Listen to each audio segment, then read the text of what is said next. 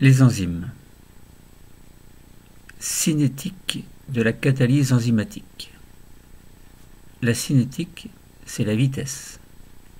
Donc si on parle de vitesse de cinétique enzymatique, c'est la vitesse d'une réaction qui sera catalysée par une enzyme. Alors ça peut être la vitesse de disparition d'un substrat ou ça peut être la vitesse d'apparition du produit. Donc parlons aujourd'hui de cinétique de la catalyse enzymatique. L'objectif, ce sera d'essayer de montrer, de prouver que la concentration en enzyme va influencer la vitesse de la catalyse enzymatique ou pas. Et deuxièmement, ce sera est-ce que la concentration en substrat exerce elle aussi ou pas une influence sur la vitesse de la catalyse enzymatique? Lorsque se forme un complexe enzyme-substrat, alors vous vous souvenez qu'un substrat, c'est la molécule de départ qui, sous l'action d'une enzyme, donc sous l'action d'une catalyse, va être transformée en produit. Donc il y a un complexe intermédiaire qui se forme, c'est-à-dire que le substrat va agir avec l'enzyme, donc le substrat en fait va venir se fixer sur l'enzyme pour former un complexe enzyme-substrat le substrat va être transformé en produit. Donc on aura encore le complexe, mais qui s'appellera cette fois-ci enzyme produit. Puis l'enzyme sera libérée, le produit également, et l'enzyme pourra amorcer une nouvelle réaction avec un autre substrat. Ça veut dire que l'enzyme, en fait, les enzymes interviennent pour catalyser une réaction, mais les enzymes ne sont pas transformées par la réaction. C'est simplement le substrat qui est transformé en produit. Donc lorsque l'on forme, lorsqu'il y a formation d'un complexe enzyme-substrat, cela confère à la catalyse enzymatique une cinétique, c'est-à-dire une vitesse de réaction chimique, en fait, qui sera caractéristique de l'enzyme. On comprend, par exemple, qu'une déficience en enzyme puisse se traduire par un ralentissement de la réaction chimique qui sera catalysée par cette enzyme. Donc on se pose la question, donc tout à l'heure on a dit on a deux objectifs, est-ce que la concentration en enzyme et ou en substrat vont influencer ou va influencer, les deux, substrat et enzyme, leur concentration, est-ce que ça va influencer donc la vitesse de la catalyse enzymatique? Autrement dit, on va étudier aujourd'hui la cinétique enzymatique, c'est-à-dire la vitesse des réactions propres plus ou moins propre à chaque enzyme, et vous allez voir que ça dépend de différents facteurs. Donc comment est-ce que l'on peut étudier une vitesse de réaction catalysée par une enzyme? Comment est-ce que l'on peut mettre en évidence une certaine vitesse, une certaine cinétique enzymatique? Et comment est-ce que l'on peut déterminer les conditions optimales pour la réalisation de cette catalyse enzymatique? Alors, d'abord essayons de, comprendre l'influence de la concentration d'une enzyme, enfin en enzyme plutôt, ou en substrat. Alors vous pouvez, donc faire au laboratoire donc une expérience, une expérience dont l'objectif sera de déterminer si les concentrations relatives en enzyme et en substrat exercent une influence sur la cinétique de la catalyse enzymatique, pour résumer ce que je viens de vous dire. Alors, il est possible de suivre l'hydrolyse de l'amidon alors, nous avons déjà parlé de l'hydrolyse de l'amidon dans un cours précédent. Hein, on mettait de l'amylase et on mettait de l'amidon. Et puis, on essayait de voir euh, à quel moment l'amidon était dégradé en quelque sorte, transformé en produit, en glucose en fait, en fonction de la concentration d'amylase nous n'allons pas revenir dessus, mais là il s'agit de faire un petit peu la même chose, sauf que l'on va parler de colorimétrie. Ça veut dire qu'il est possible de suivre l'hydrolyse de l'amidon en présence d'amylase par colorimétrie. Colorimétrie, c'est quoi? Eh bien, c'est une technique qui permet de déterminer la concentration d'une substance dissoute par mesure de la quantité de lumière que la solution est capable d'absorber ou au contraire de rejeter. Donc je répète, La colorimétrie, c'est une technique permettant de déterminer la concentration d'une substance qui sera dissoute par mesure de la quantité de lumière que la solution absorbe ou laisse passer. Pour vous prendre un exemple, si vous prenez un tube à essai et vous mettez une solution complètement noire, est-ce que la lumière sera absorbée ou pas? Est-ce que la lumière va passer à travers le tube à essai? Là, vous allez dire, si vous regardez autour du tube à essai, vous allez dire, bah non, je vois rien de l'autre côté. De Donc vous regardez un endroit, vous regardez de l'autre côté, il on ne voit rien. Bon. Par contre, si vous avez cette quantité de noir qui diminue, donc si la solution devient de plus en plus transparente, ça veut dire que la lumière va être capable de passer. Eh bien, c'est un peu le, principe de colorimétrie. On a, il suffit de mettre dans un tube à essai, par exemple, une solution de substrat, par exemple, ça peut être de l'amidon, de l'emploi d'amidon, par exemple, et puis de mettre une enzyme, et puis de voir si la coloration, alors si par exemple c'est de l'emploi d'amidon, on met également de l'eau iodée. Pourquoi? Parce que l'eau iodée est le réactif de l'amidon et va donner à la solution une couleur foncée. Violet, noir, bleu foncé. Mais si on met peu d'emploi d'amidon, et si on met par exemple juste une ou deux gouttes d'eau iodée, ça veut dire qu'on aura une coloration par exemple légèrement bleutée, mais pas trop. Et si on met une enzyme, par exemple de l'amylase salivaire ou pancréatique, eh bien, et si on laisse le temps faire, eh bien, on peut s'apercevoir que la coloration, que la quantité de bleu va diminuer. Donc ça voudrait dire quoi? Ça voudrait dire qu'il y a de moins en moins d'amidon. Pourquoi? Parce que l'amylase aura digéré de plus en plus d'amidon. Donc la technique de colorimétrie, qui mesure la quantité de lumière absorbée ou rejetée par la couleur, en fait, si cette couleur diminue, ça voudrait dire que la quantité d'amidon diminue et donc que l'enzyme a bien hydrolysé l'amidon en glucose. Bon, vous avez compris le principe. Donc ça veut dire que de l'emploi d'amidon peu concentré auquel on ajoute une faible quantité d'eau iodée, prend une coloration bleue transparente. Pourquoi? Parce qu'il n'y a pas trop d'emploi d'amidon et on ne met pas trop d'eau non plus. De manière à, ce que les concentrations ne soient pas tout à fait trop sombres, en fait. Ne, pas trop sombres. La digestion de cet emploi d'amidon va alors s'accompagner d'un éclaircissement progressif du mélange. Et si l'on mesure par colorimétrie la quantité de lumière qui passe, c'est-à-dire ce que l'on appelle l'absorbance, ou on dit aussi densité optique, qui est une, valeur sans unité, eh bien, cette densité optique ou absorbance va mesurer la quantité de lumière absorbée par la solution. Et cette quantité va augmenter ou diminuer ou rester stable selon l'activité de l'enzyme, donc selon la catalyse enzymatique.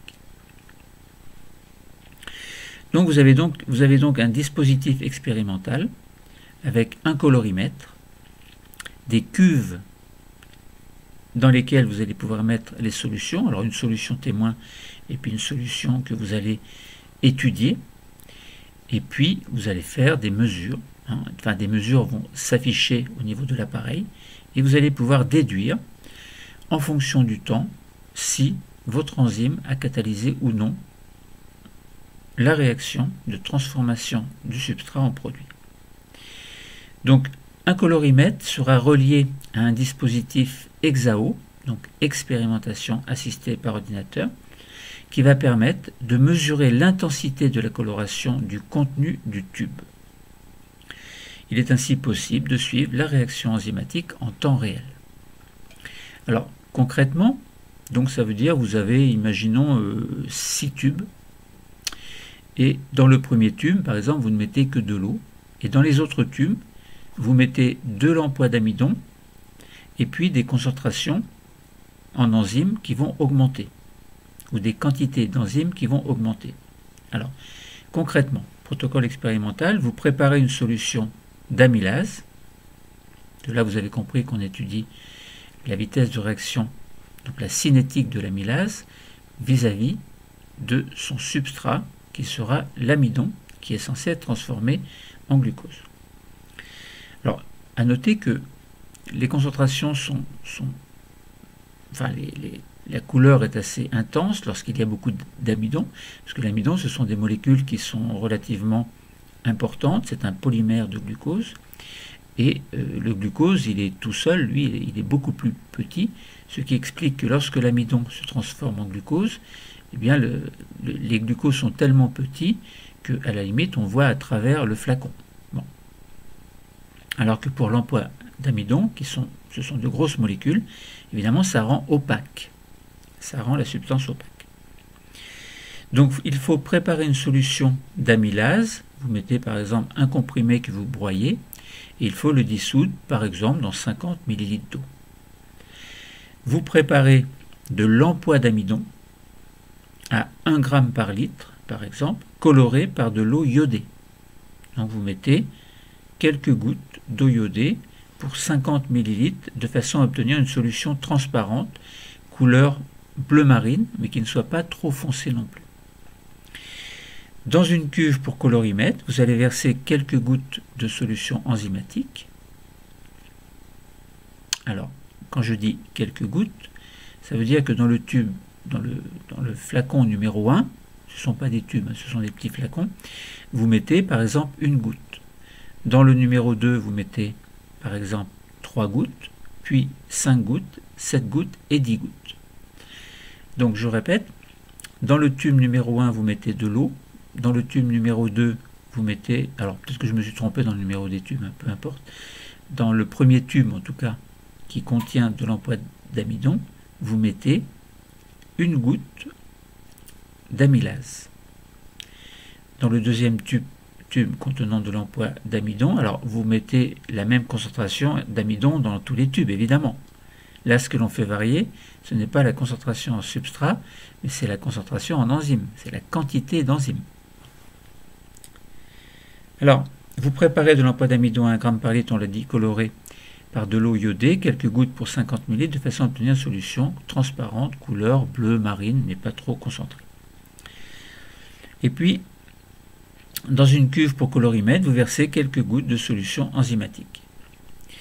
Vous remplissez la cuve avec la solution d'emploi d'amidon coloré. Vous démarrez l'enregistrement. Et puis vous faites plusieurs essais en faisant varier la quantité d'enzymes. Comme je vous ai dit, donc dans le tube numéro 1, vous mettez, alors vous faites un, témoin où vous mettez de l'eau. Hein, vous, ne mettez pas d'emploi d'amidon, vous pouvez mettre de l'enzyme, vous ne mettez pas d'eau. Donc ça veut dire que s'il n'y a, pas d'emploi d'amidon, s'il y a l'enzyme, il ne se passe rien. Témoin, vous pouvez mettre aussi de l'emploi d'amidon en quantité très faible. Enfin, pas en quantité très, faible, parce que là, on reste toujours à 1 gramme par litre, en fait. Et puis, vous ne mettez pas d'enzyme. Vous allez voir qu'il ne se passe rien. Bon. Ou alors, vous mettez de l'eau, vous mettez de l'enzyme c'est comme vous voulez pour le témoin, à vous de voir, ça dépend de votre raisonnement que vous souhaitez appliquer pour faire des comparaisons. Alors, quels sont les résultats? Dans le flacon numéro 1, vous avez mis l'emploi d'amidon et puis vous avez mis une goutte d'amylase. Et vous regardez les valeurs de l'absorbance. Alors, je rappelle que l'absorbance est une grandeur sans unité qui correspond à la quantité de lumière qui est absorbée par une solution, comme nous avons dit tout à l'heure, et elle est proportionnelle évidemment à la concentration dans la solution, la concentration de la solution. Donc si la concentration diminue, ça veut dire que l'absorbance va diminuer. Pourquoi? Parce que de plus en plus d'amidon, enfin de l'amidon en tout cas, va être transformé en glucose. Donc ça veut dire qu'on aura de moins en moins de grosses molécules qui rendront opaque le flacon et de plus en plus de glucose qui est une très petite molécule, qui rendra de plus en plus transparent la solution. Alors, donc si vous mettez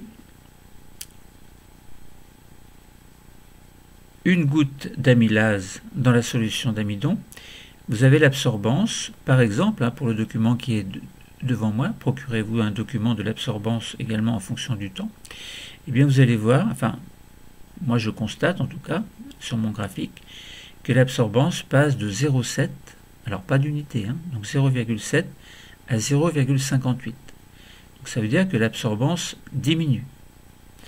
Lorsque vous mettez 3 gouttes d'amylase dans la même solution, donc dans une deuxième cuve, vous mettez 3 gouttes d'amylase, et eh bien l'absorbance passe de 0,7 à 0,52. Elle a encore diminué. Et puis la diminution se fera de la même façon, et, mais de encore plus, si vous mettez 5 gouttes, on, a, on passe de 0,7 à 0,47. Pour 7 gouttes, on passe de 0,7, alors à peu près, hein, de 0,7 à 0,43. Et pour 10 euh, gouttes, on passe euh, de 0,7 à peu près à 0,38. Donc vous voyez que pour une même concentration de substrat, et pour des concentrations qui augmentent en enzymes, eh ça veut dire que l'absorbance diminue d'autant plus. Et comme l'absorbance est représentative de la concentration, eh bien ça veut, bien dire que la quantité d'emploi d'amidon diminue parce que cette quantité se transforme de plus en plus en glucose. Donc plus il y a d'enzymes, plus il va y avoir diminution de la concentration d'amidon et augmentation de la concentration en glucose. Donc l'absorbance diminue d'autant plus que la quantité d'amylase augmente, donc elle diminue parce que la concentration d'emploi d'amidon diminue, donc plus la quantité d'enzymes augmente et plus la quantité d'emploi d'amidon hydrolysé va augmenter et plus la quantité de produit, c'est-à-dire du glucose, va augmenter.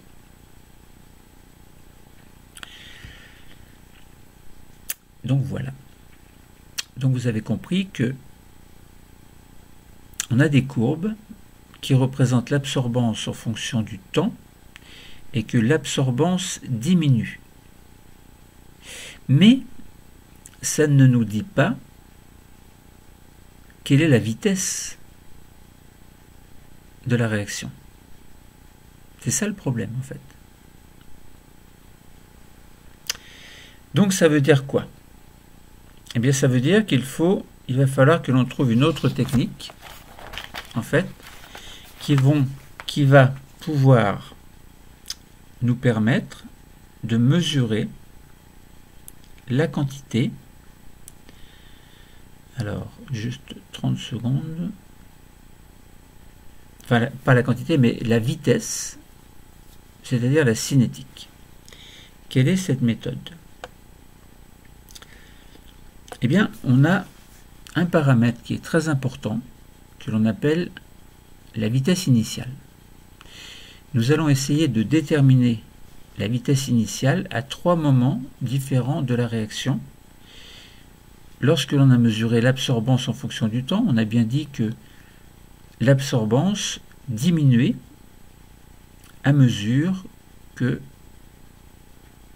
la quantité d'enzymes augmenter. Donc on a bien dit que, je prends mes mains, on a le substrat qui est l'emploi d'amidon qui est transformé en produit sous l'action de l'amylase salivaire. Et plus la concentration d'amylase salivaire est importante, plus l'absorbance diminue. Alors, nous allons essayer de comprendre pourquoi. Comment mesurer la vitesse initiale? Je répète, on a toujours cette absorbance en fonction du temps. Comment est-ce que vous feriez? Eh bien, au cours d'une réaction enzymatique, vous avez une quantité de substrat qui va diminuer. au fur et à mesure de son déroulement, tandis que la quantité de produit va augmenter. Comme je vous ai dit, on a bien E plus S va donner ES et qui va donner ensuite E plus P lorsque l'enzyme est libérée du complexe. On a bien l'enzyme qui se lie à son substrat, ou plutôt le substrat qui se lie à son enzyme. on peut raisonner dans les deux sens. Pour former un complexe enzyme-substrat que l'on appelle ES, qui va former un complexe enzyme-produit que l'on appelle EP, et ensuite l'enzyme est libérée, le produit également. Eh bien, la vitesse de la réaction, c'est la quantité de substrat qui sera transformée en fonction du temps, donc par unité de temps. Donc ça se mesure, par exemple, en concentration, évidemment. On constate toujours que la vitesse diminue au cours du temps. Alors pourquoi est-ce qu'elle diminue? Nous allons expliquer ou essayer d'expliquer tout à l'heure. À chaque instant, elle correspond à la pente, c'est-à-dire au coefficient directeur. Donc ça correspond, elle correspond, cette vitesse, à la pente de la tangente à la courbe en ce point. Donc ce coefficient directeur sera négatif si on étudie la quantité de substrat restant au cours de la réaction et positif évidemment si on raisonne ou si on calcule la quantité de produit qui est formé en fonction du temps. Alors, je vais répéter parce que ce n'est pas forcément évident à comprendre. C'est quoi la vitesse de la réaction? La réaction, quelle réaction Vous allez me dire? On n'arrête pas d'en parler. Mais c'est la réaction de transformation d'un substrat en produit, sous l'action d'une enzyme. Donc on a bien un complexe enzyme-substrat qui se forme, et ensuite l'enzyme est libérée et le produit est libéré. Donc la vitesse de la réaction, c'est la quantité de substrat, donc qui est la, la, molécule de départ qui doit être transformée. Donc c'est la quantité de substrat qui est transformée par unité de temps. La vitesse, elle diminue toujours au cours du temps. À chaque instant, elle correspond à la pente, c'est-à-dire au coefficient directeur de la tangente. Donc elle correspond à la pente de la tangente à la courbe en ce point. Si vous avez une courbe, vous faites, vous tracez la tangente. Et lorsque vous avez le temps t0, eh bien vous tracez la tangente au temps t0. Eh bien, ce sera la vitesse maximale, ce sera la vitesse initiale, mais qui sera maximale. Et c'est ce qui va caractériser telle ou telle enzyme c'est la vitesse initiale et non pas forcément la vitesse à n'importe quel instant du temps au-delà du temps de départ.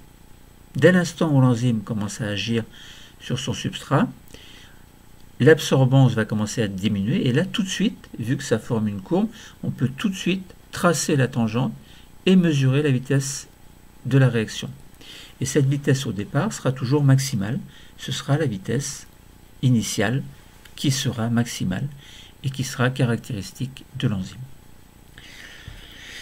Donc ce coefficient directeur, on a dit qu'il est négatif si on étudie la quantité de substrat qui reste au cours de la réaction, et positif si l'on étudie la quantité de produits formés. C'est normal parce que la quantité de substrat diminue tandis que la quantité de produits augmente. Donc c'est normal que si on mesure la quantité de substrat qui diminue, ce sera négatif si on mesure la quantité de produit qui augmente, qui, qui se forme, ce sera positif. Et la vitesse maximale d'une réaction enzymatique, c'est donc la vitesse initiale de cette réaction. C'est ce paramètre qui est pris en compte pour effectuer des comparaisons d'enzymes. Bon voilà, donc vous avez compris, hein, amusez-vous à tracer une courbe, vous tracez la tangente, hein, vous tracez une courbe et vous, vous faites la tangente. La tangente, c'est une ligne droite. Donc voilà. Alors ensuite, vous pouvez, si vous voulez vous amuser, mais moi je ne le ferai pas, euh, je vais pas vous montrer le, processus entre guillemets. Je vous dis simplement que vous pouvez, si vous voulez, faire une modélisation pour comprendre l'influence de certains facteurs sur la vitesse de réaction. Alors, vous avez pour ça un logiciel en ligne qui s'appelle EduModel. E-D-U M-O-D-E accent grave L-E-S. Donc ce logiciel est du modèle. Il permet d'utiliser ou de construire un modèle de réaction enzymatique. Il est alors possible de faire varier de nombreux facteurs.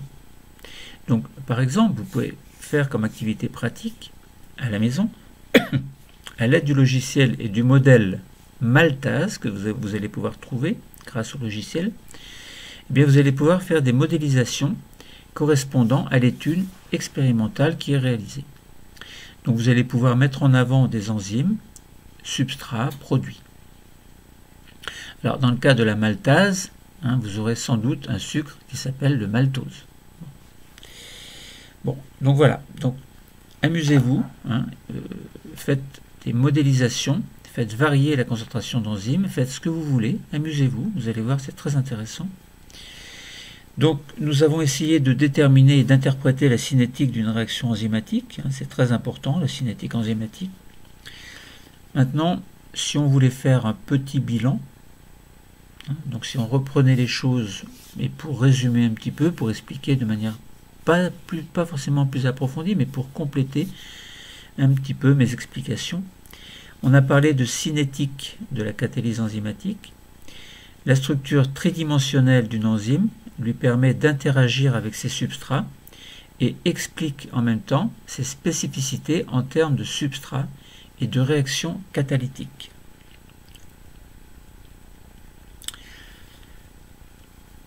Alors, L'objectif était de, comprendre, de, vous faire comprendre que la cinétique enzymatique existe. C'est l'étude des vitesses, et notamment pour chaque enzyme, on caractérise une vitesse maximale qui sera la vitesse initiale. Donc elle dépend de l'enzyme. Bon, elle dépend également de, certains paramètres, évidemment. Donc vous avez deux activités complémentaires que vous pouvez vous amuser à à voir, c'est l'une qui font appel à l'expérimentation assistée par ordinateur, lorsque vous allez mesurer l'absorbance de certains tubes en fonction du temps, lorsque vous mettez ensemble un substrat avec son enzyme, donc là on avait pris l'emploi d'amidon avec l'amylase salivaire par exemple, et on voyait que l'absorbance diminuait à mesure que le temps passait. Et l'autre euh, activité pratique complémentaire, c'était une modélisation que vous pouvez vous amuser à faire à partir de du euh, modèle.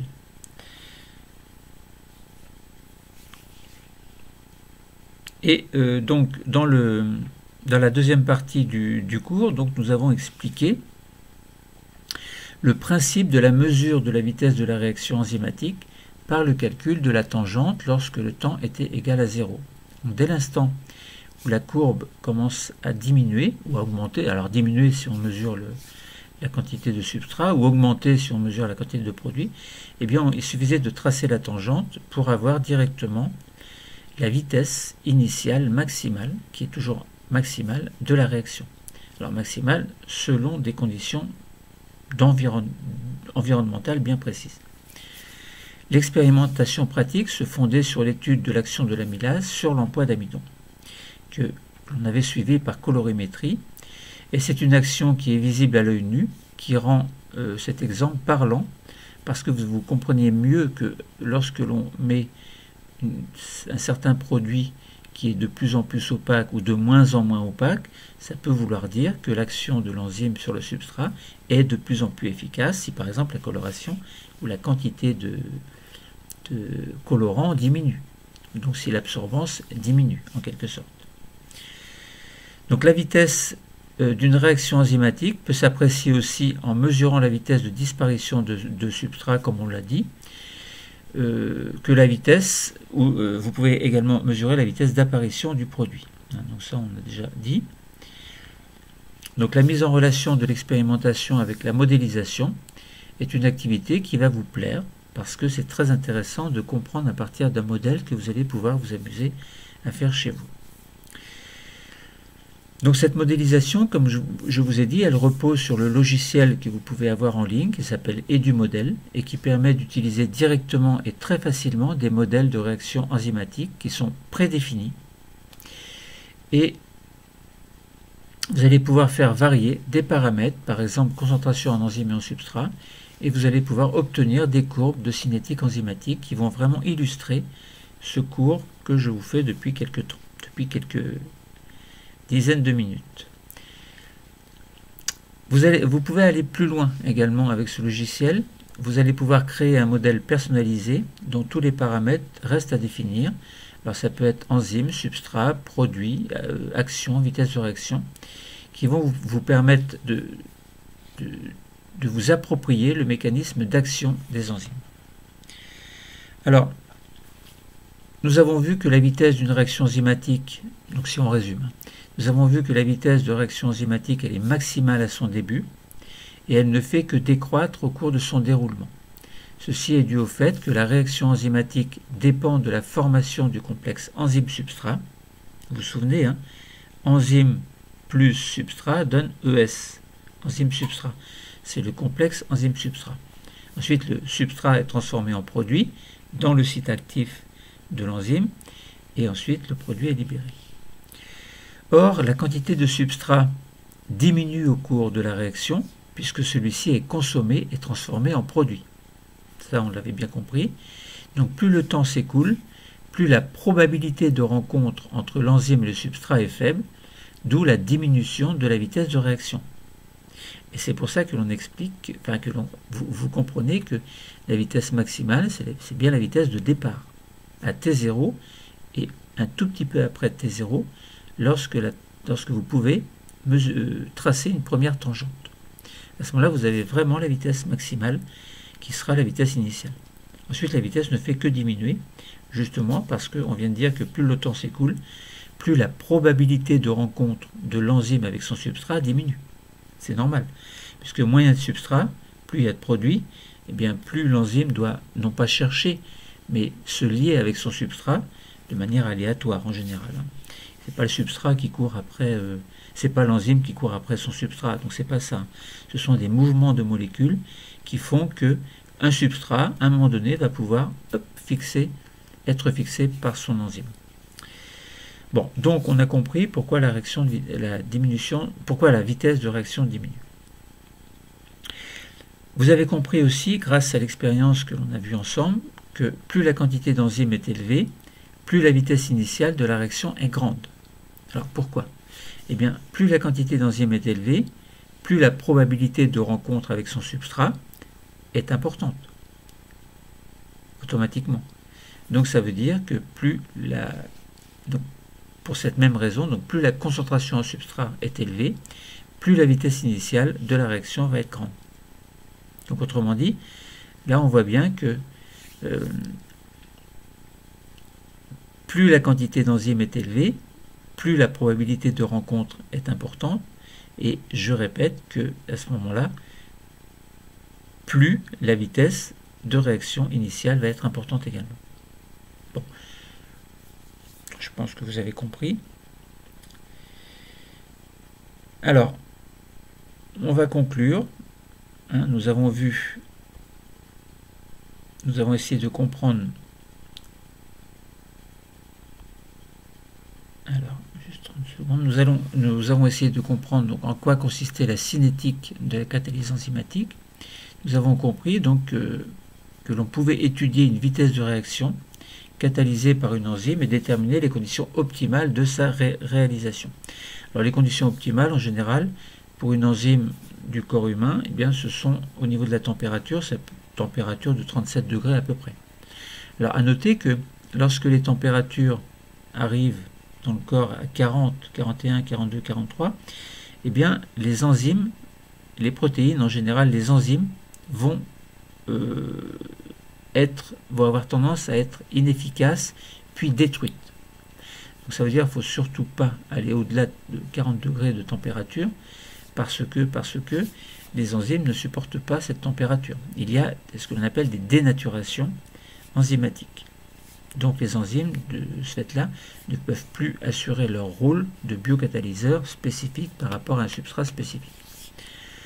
Bon, Vitesse de réaction maximale, c'est la vitesse initiale, hein, on l'a bien compris. Et puis cette vitesse dépend évidemment de la concentration en substrat, de la concentration en enzyme également. Donc on peut raisonner dans les deux sens.